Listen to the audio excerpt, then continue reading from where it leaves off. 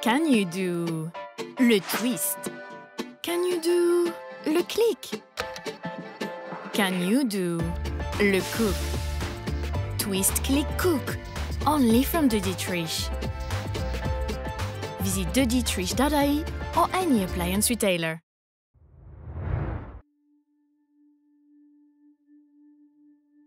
Thanks so much. Hi, everybody. Good morning. Lovely to see you all. Um, so, this morning I'm going to chat about uh, a couple of areas to think about to hopefully make um, getting your kitchen and designing your kitchen a little bit easier. Um, so, some of the areas that I'm going to focus on will be first of all, budget, and in particular, uh, some of the hidden costs that you might not be aware of um, when designing a kitchen. Secondly, I'm going to focus on design, and uh, what I'll be covering are some of the most commonly asked questions that I get, get asked about design. So, hopefully, that will demystify the whole thing a little bit. And then finally, just to come back to um, well being and some of the things to think about that aren't really aesthetic, but actually are going to make your kitchen not only look fantastic, but make you feel fantastic as well. So, uh, first of all, budget. And I think, you know, the most important thing when planning any kind of home design project, big or small, is to, first of all, figure out your budget. And then, secondly, um, to make sure that you set aside a little contingency. So, even if it's a very small project, you know, something can go wrong. So, just to be prepared for that, because there's nothing worse than starting on a project and suddenly there's not enough money to fix or finish out something.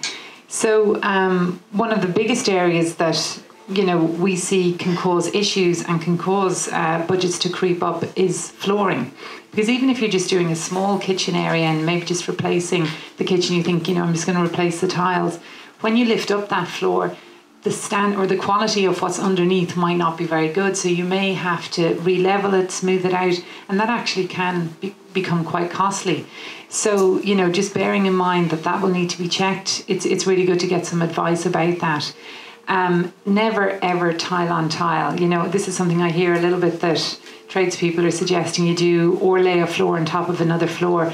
It's just never going to work out. You're going to get problems. And when you're laying a floor, ideally the floor should be laid before your kitchen goes in and it should run underneath all of the units. And this is because, you know, it's going to make it easier for taking appliances out. It also means that you can change things easily. Um, so that's really important. And what that means as well is that you really need to have your flooring picked well in advance of the kitchen going in because things like delays or longer lead times are going to potentially add to the cost and time delays and stuff for your project. Um, splashbacks are another thing to think about. So there's so many options out there, you know, whether it's tiles, beautiful quartz or stone, um, maybe you want to go for something totally different and every kind of uh, finish that you choose is going to have to be fitted in a different way. So, unless the builder or the fitter knows exactly what you're planning, there may be additional cost depending on what you pick. So, things like mosaics or any kind of intricate or specially shaped tiles, those are going to be much more difficult to fit and more costly than standard tiles. Um, similarly, things like quartz or glass you're going to need to um, have all of your sockets and switches cut out before it's installed, and each of those cut- cutouts adds to the cost. So, again, careful planning is really, really important. Um, and then, you know, there's things like this is a project with uh, barnwood, and that had to be specially fire treated. So, all of these things are really, really important. And unless the builder or the tradesperson knows from the outset, he could turn around and say, look, that's an extra, which could put you over budget. Um, specialist appliances. This is a really important one, like things like the steam oven or hot water tap. All of these things may need to be plumbed in or may need extra power. So, unless the builder knows from the outset, that could actually be a really costly thing to come and retro do later down the line. So, again, it comes back to really, really good planning and making sure all of these things are picked as early on in the process as possible so that everybody knows what's involved. Um, and then it brings me on to design. And it is overwhelming. I mean, there are so many decisions to be made, especially just in one space like a kitchen, from colour to the countertop to your flooring um, to the appliances. So, you know, just to try and help and demystify that, I'm just going to run through a couple of the questions that I would typically get asked. And the first is the style and colour. So this one is really tricky because I think, you know, there's so much inspiration and ideas out there now with social media, with Houzz, Pinterest. It's easy to get overwhelmed pretty quickly. And, you know, we will meet people who often think, well, I love contemporary, but actually when they start to see contemporary things, that's not at all what they like. So my advice would be to get out and get into the showrooms and start to try and see things as much as you can. Um, and especially where you're planning a kitchen that's going to be part of an open plan space because you're going to want the whole space to flow. So that's the great thing about showrooms. Often they do set up the spaces like that with little living areas or dining areas. So it's going to give you a great sense of how things are going to look in your home. Um, colour, don't be afraid of colour, but I would sort of steer you down the more neutral tones. So some of these dark shades are absolutely lovely. Um, particularly if you have a bright space, you can really work with the darker tones. And if you go dark enough, it almost turns into what I would call a dark neutral. So it just forms a really nice backdrop to the space. Um, uh, neutral is is great. You know, if you want to go for something lighter, maybe you want to think about mixing in different materials. So, like this kitchen here, where we've got timber mixed with white, and you know, it just creates a lovely sort of timeless look in this space. And then, you know, my advice, because a kitchen is a big investment, is to try and keep it more neutral. Like steer away from trends, from very very strong colours, and bring in the colour and the things that you like through accessories. So you can see here we went with bright coloured bar stool and art and stuff. So you can easily change up the look without uh, incurring too much cost. So the next question then that we often get asked is what kind of flooring to go with. And this is a huge, huge dilemma for people. I know when I was doing my own house, this is the one I struggled with the most. Like it honestly took me, I would say, three or four months to choose the tile. And again, this is a really costly thing to put into your house and something that's going to be very, very difficult to change. So my own preference, and this is my own kitchen here, would be tiles, just purely from a practicality point of view. Um, you know, in a kitchen, you've got water, you've got risk of spills, leaks, all that sort of thing. Uh, so tiles are just not going to give you any heartache. And they're pretty um, durable, especially where you have glazing out to the back. So, you know, traffic coming in and out, and also sun damage, you don't have to worry about anything like that. They're also the perfect partner to underfloor heating. So if you're extending, they're a really, really good and practical choice. Um, timber, a lot of people love timber. And, you know, for certain people, this is a really, really good choice. You know, if you don't have young kids, things like that. It will, you know, it is going to need some kind of uh, maintenance and upkeep. You're going to have to mind it, particularly around the sink area. So, my advice would be to go for an engineered floor so that's a floor which is kind of like a composite timber rather than a solid timber because you're going to get less expansion and movement. And it's also an ideal partner for underfloor heating again. So a really, really good choice. And then if budget is an issue and you still love the look of timber, there are some fantastic laminates out there. Um, and there are even boards which are 100% waterproof. So it's really good to kind of shop around uh, get some good advice. And just if you are thinking of underfloor heating, make sure to discuss that with the supplier to make sure that the floor is compatible. And then the other big decision is countertop. So your choice of countertop is going to depend on three things.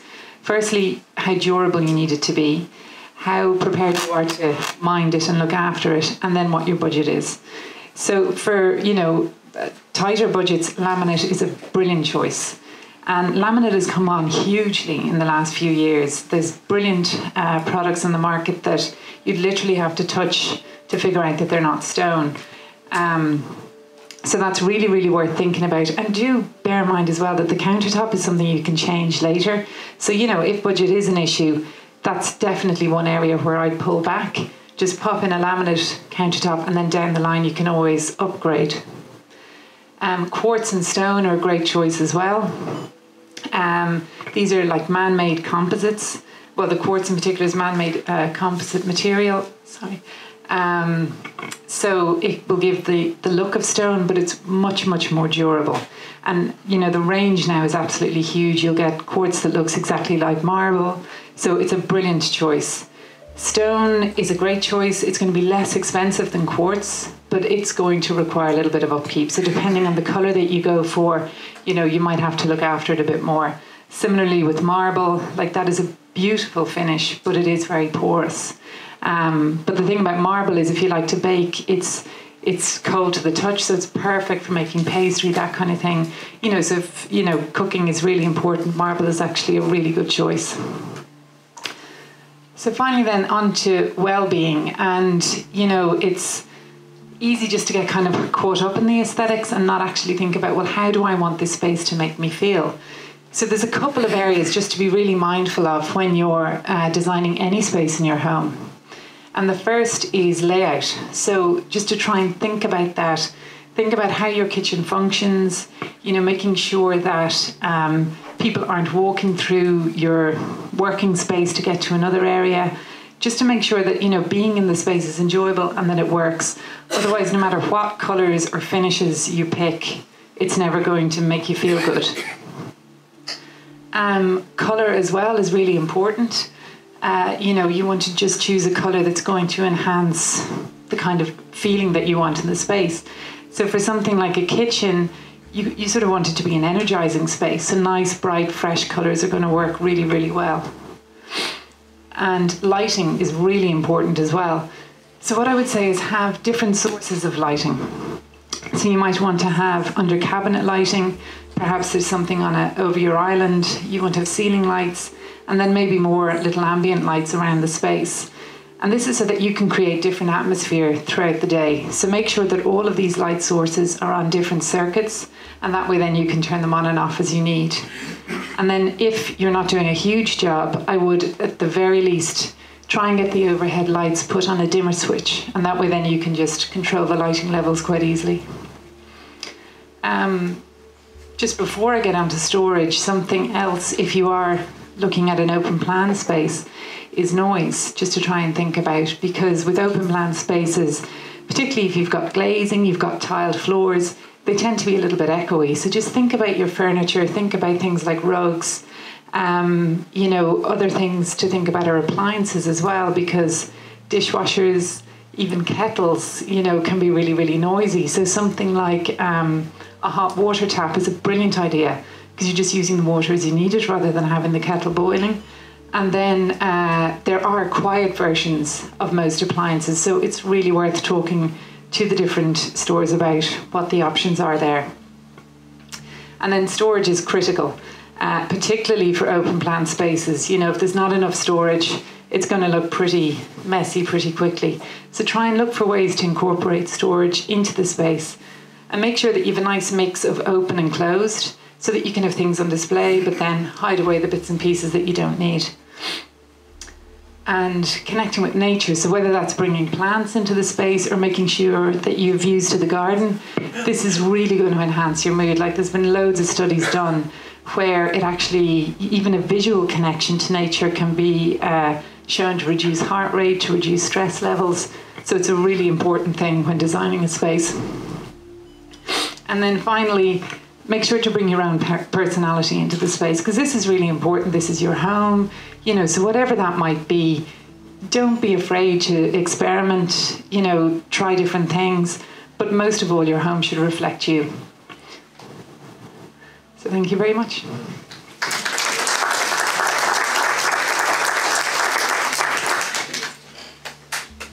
Would you like to do some questions? Yeah, so any questions?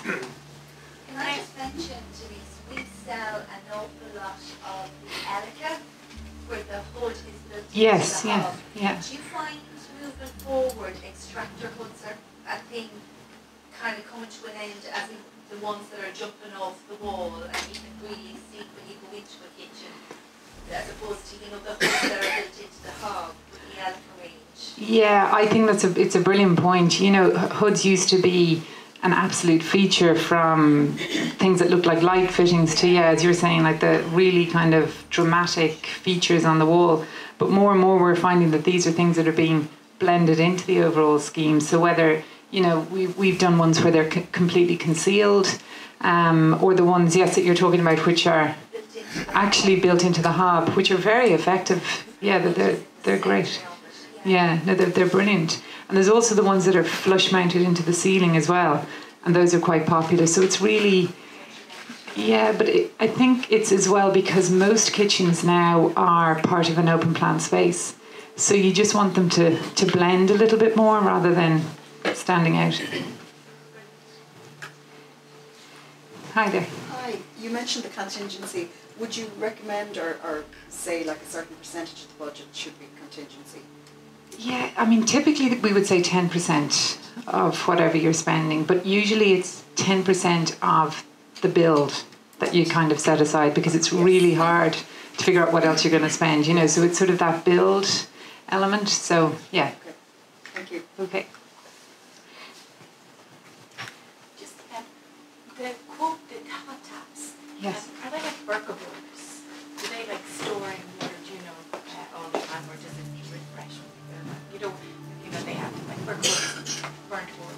No, no, no, they're not at all. No, there is one here, Yeah, isn't I there? can, Yes. I can take that actually. Absolutely, Yeah. perfect. So the, the boiling hot water tap here, it's, it's a tank, it's a five litre tank, and the water is condensed in the tank at actually 108 degrees. And it's, built, it's designed actually to sit underneath your skirting board so it doesn't take any space in the kitchen. And uh, it's constantly boiling, or it's steaming at 108, so when you turn it on, the water comes out at 100 degrees. And it uses about the same power as a 40 watt light bulb. And then actually the Franke ones, they have a little sleep button, so you can send it to sleep every night at say midnight, and it sleeps for six hours, and then come back on again at six o'clock in the morning.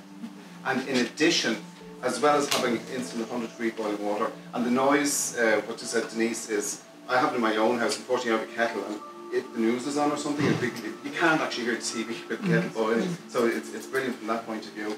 But you can actually connect them that you have instant direct hot water. So as opposed to taking water from your tank upstairs. So if you turn on your normal hot water, it takes the hot water from the tank, and that's hot depending on if you have solar panels, the immersion is on, or the heating is on. But if you connect it through this, what happens is the 100 degree water comes in, the cold water comes in together, and within two seconds you get 65 degree water. So you just have direct access water. And they come in for 999 is actually the starting price of those mm. taps. Yeah, And you have your regular hot and cold as well, if you want. But is it boiled, it's boiled constantly, so it's not freshly boiled, obviously. No, so it it's condensed in the tank. It's litres. It's condensed in the tank at 108, so it's steam. But the tank is specially constructed as well. That doesn't take any uh, taste or odours or anything like that. I mean, I'm not like, and it's actually the water is filtered going into the tank as well. So that the water that's in the tank is pure and it's not contaminated. So you know, I suppose the thing is, if you leave it on. As I said, you can go into sleep mode at night.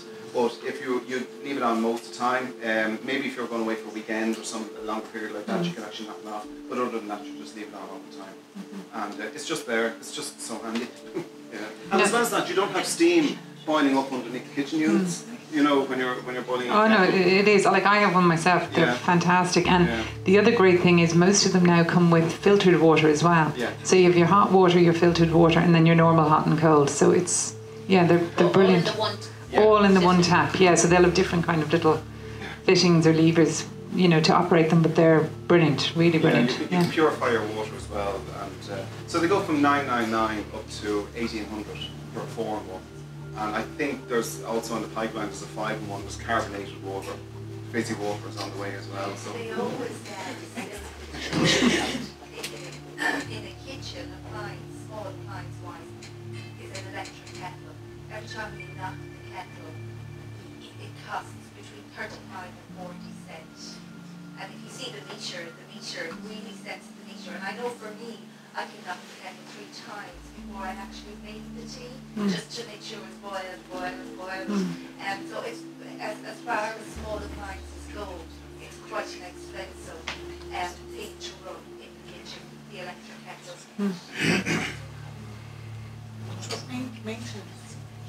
Uh, no, the only thing you actually need to, prior to installation, is that you have a minimum of a 1.4 bar pressure, because you need that pressure to maintain um, for the water to come out at an adequate flow rate. But other than that, you change the filter Uh, I think it's every year, every two years you can buy them, or every 16 months you can buy them online. But other than that, it should just run itself. And then it comes with a warranty because it's effectively it's not a tap, it's an appliance. You know, Mm-hmm. there- there's a motor in there. There's it's it, it's on a plug top as well.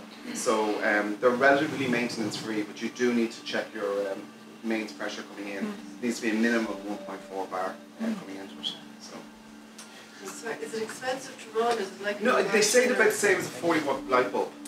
So it's just there all the time, you know, for a cup of tea, a cup of coffee, and hot water bottles, uh, you know, just, just, uh, Oh, they really are. Yeah, they're brilliant, and they are the, definitely like they're less expensive than running a kettle. So no, it is. It's it's energy saving. Or even if you're boiling spuds or something like Mm. that, you're, you're putting, you can get the boiling water as opposed to waiting for the gas or the electric Mm. to heat up the water as well.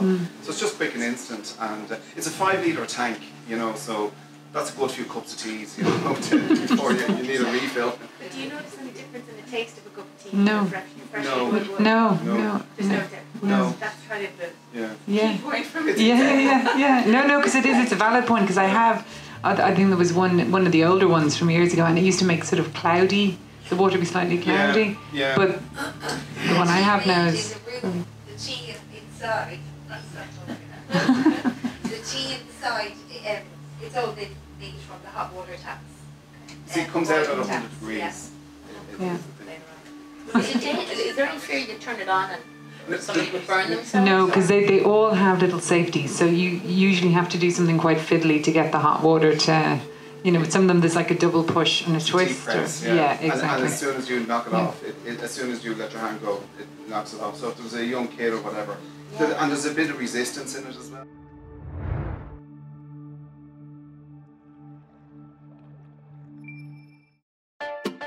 Can you do le twist? Can you do le click?